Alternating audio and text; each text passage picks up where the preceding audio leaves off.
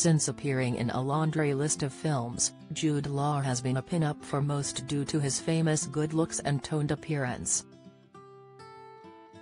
But fans are set to be shocked as the Hollywood heartthrob, 51, takes on a completely different look to play the infamous Henry VIII in the new historical film, Firebrand, set in the 1500s. Sporting a plump physique, graying beard while wearing regal clothing including a feathered hat, the actor looked worlds apart from his trademark good looks. Jude stars alongside Alicia Vikander, who plays Catherine Parr, Henry V's sixth wife. The film is based on the 2013 novel Queen's Gambit, by Elizabeth Fremantle and fans were given a sneak peek of the film earlier this week when the trailer was released showing both actors in character. The narration alongside the visual explained, in a rotten blood-soaked, island kingdom there once was a queen by the name of Catherine Parr. She was the sixth wife of the vengeful Henry VIII. The five wives who came before her all met untimely ends but Catherine's fate was to change the kingdom forever. After Catherine finally agrees to marry the king, known for being a tyrant, she began to do everything in her power to enforce her Protestant beliefs.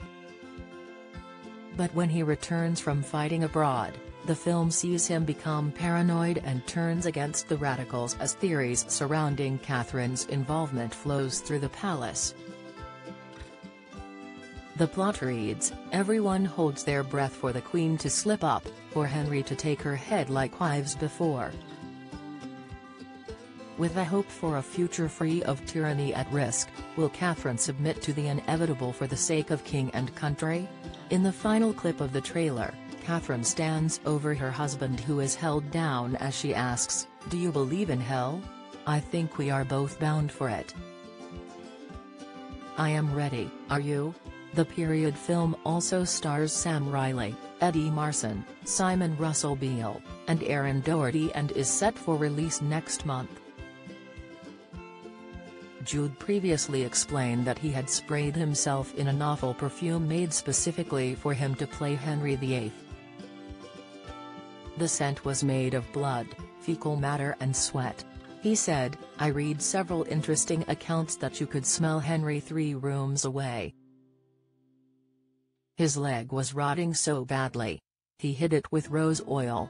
I thought it would have a great impact if I smelt awful.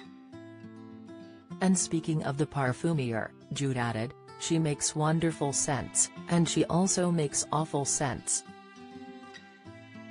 she somehow came up with this extraordinary variety of blood, fecal matter and sweat.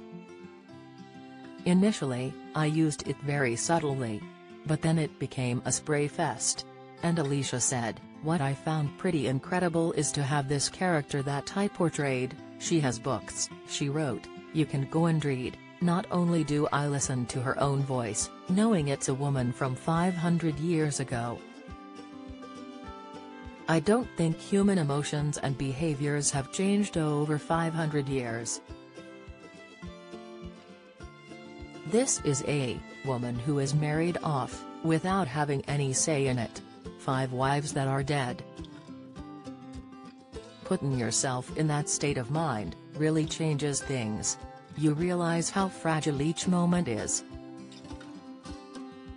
Follow Mirror Celebs on TikTok, Snapchat, Instagram, Twitter, Facebook, YouTube and Threads.